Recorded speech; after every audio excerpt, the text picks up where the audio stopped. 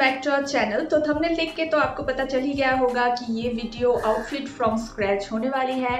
Actually मैंने एक white lehenga बनवाया है अपने टेलर से। वो स्क्रैच के कपड़े से बनवाया है। लेकिन इसके पीछे एक छोटा सा स्टोरी है जो मैं आप लोगों के साथ आज शेयर करने वाली हूँ। आप देख सकते हो मेरे हाथ में एक वाइट दुपट्टा है। एक्चुअली इस दुपट्टे से ही आ, ये ड्रेस बनवाने का जो पूरा कॉन्सेप्ट है ये आया है। आ, तो वीडियो प्लीज़ पूरा देखते रहना और देखना कैसे मैंने बहुत ही अफोर्डेबल बजट में एक अच्छा सा ड्रेस बनवाया है। अगर वीडियो अच्छा लगे तो लाइक कर देना और हमारे चैनल को प्लीज़ सब्सक्राइब कर देना और चैनल में जाके बाकी वीडियोस भी ज़रूर देखना। आप हमें इंस्टाग्राम और फेसबुक पे भी फॉलो कर सकते हो तो चलिए टाइम वेस्ट ना करके वीडियो को स्टार्ट करते हैं। तो जैसे कि मैंने आपको पहले बताया कि इस वाइट दुपट्टे से इस ड्रेस बनाने का पूरा आइडिया आया मेरे को।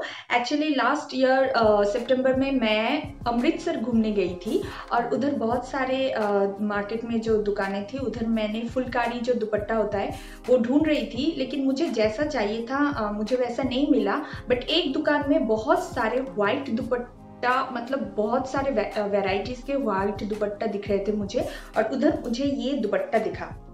आपको पहले मैं ये दुपट्टा दिखाती हूँ।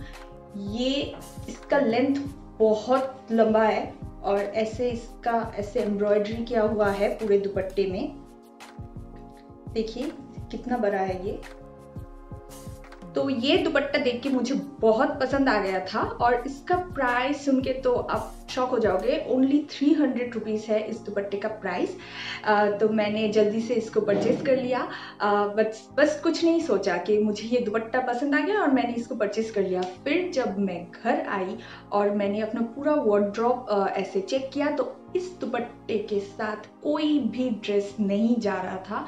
मतलब इसका वाइट थोड़ा सा मतलब ऑफ़ वाइट या क्रीम टाइप का या एकदम सा वाइट नहीं है। ये बहुत अलग किस्म का वाइट है।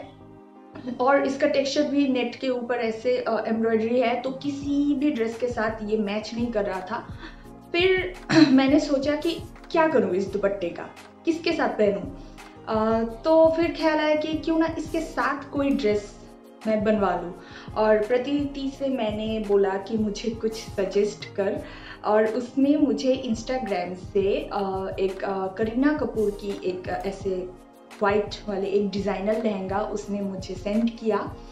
और उससे पहले मैं दुकान में जाके थोड़ा बहुत वाइट कपड़ा भी देख के आई थी, लेकिन मैं बहुत कंफ्यूज हो गई थी कि किस तरह की ड्रेस मैं बनवाऊँ।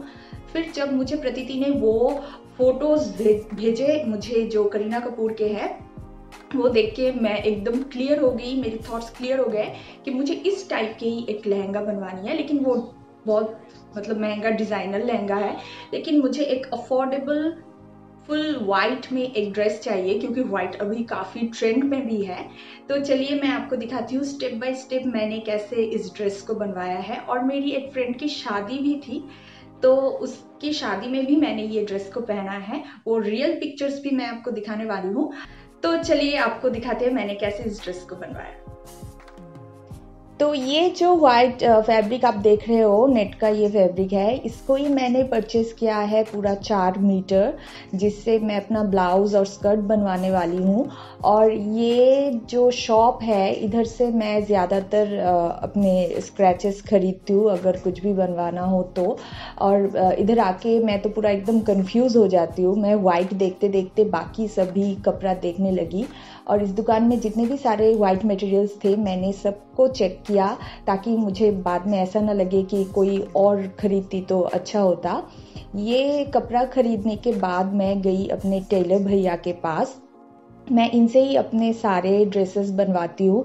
ज़्यादातर जो क्रिटिकल डिज़ाइंस सोचती हूँ मैं, वो भैया बहुत अच्छे से बनवा देते हैं और मैं इनको बहुत परेशान करती हूँ कि मुझे ऐसा चाहिए या वैसा चाहिए। लेकिन ये मुझे सब एकदम परफेक्ट बनवा देते हैं। और इस टाइम भी मैंने उनको बोला कि मुझे ये करीना के फ़ोटोज़ दिखाए कि मुझे सेम ऐसा ही लहंगा चाहिए। उन्होंने बोला हाँ ऐसा हो जाएगा। तो मैं एकदम टेंशन फ्री हो गई क्योंकि इनका फिटिंग्स बहुत ही अच्छा आता है, लेकिन ये थोड़ा सा ज़्यादा टाइम लेते हैं। तो फाइनली ड्रेस कंप्लीट हो गया और उसके बाद ये है मेरे हाथों में ये पूरा ड्रेस इसका पूरा मटेरियल नेट है और नेट के ऊपर ऐसे एम्ब्रॉयडरी की हुई है। एक्चुअली ये सिर्फ़ उस दुकान में ही मुझे इस दुपट्टे के साथ ये सेम कलर का फैब्रिक मिला और ये भी नेट में एम्ब्रॉयडरी किया हुआ जो मटेरियल है, इसके साथ जा रहा था। अब देखिए, ये कलर एकदम बिल्कुल मैच कर रहा है।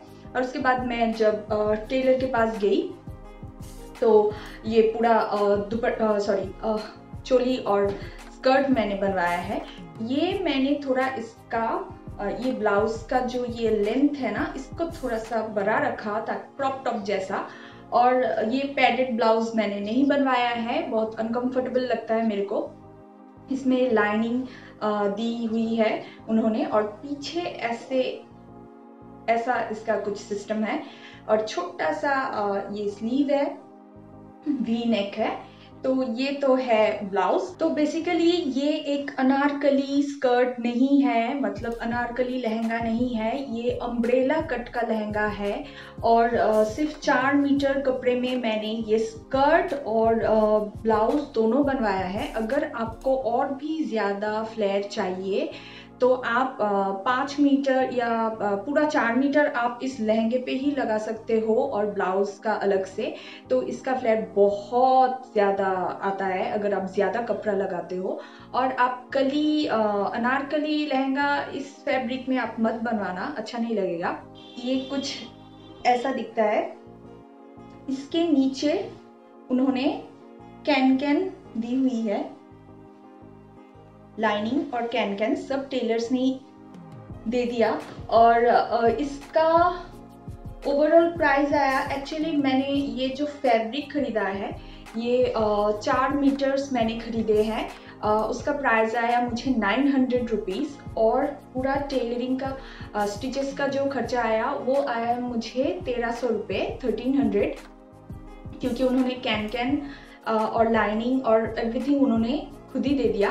आ, तो 300 दुपट्टे का और 1300 टेलरिंग का और 900 फैब्रिक का तो टोटल आया मुझे दो हज़ार पाँच सौ रुपये में मुझे ये पूरा ड्रेस मुझे कंप्लीट मिल गया। तो चलिए अभी फाइनल लुक देखते हैं। मैं आपको पहन के दिखाने वाली हूँ कि ये कैसा हो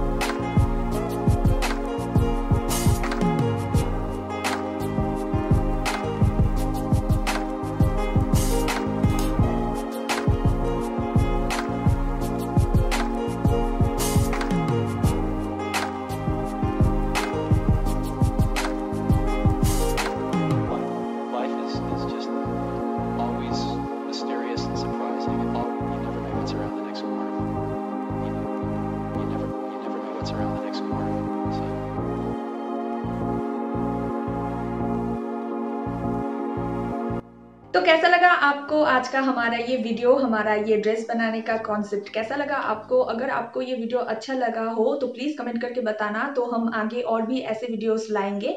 आप हमें इंस्टा और फेसबुक फेसबुक पे भी फॉलो कर सकते हो तो चैनल को प्लीज़ सब्सक्राइब भी कर देना और अपने फ्रेंड्स के साथ शेयर भी कर देना।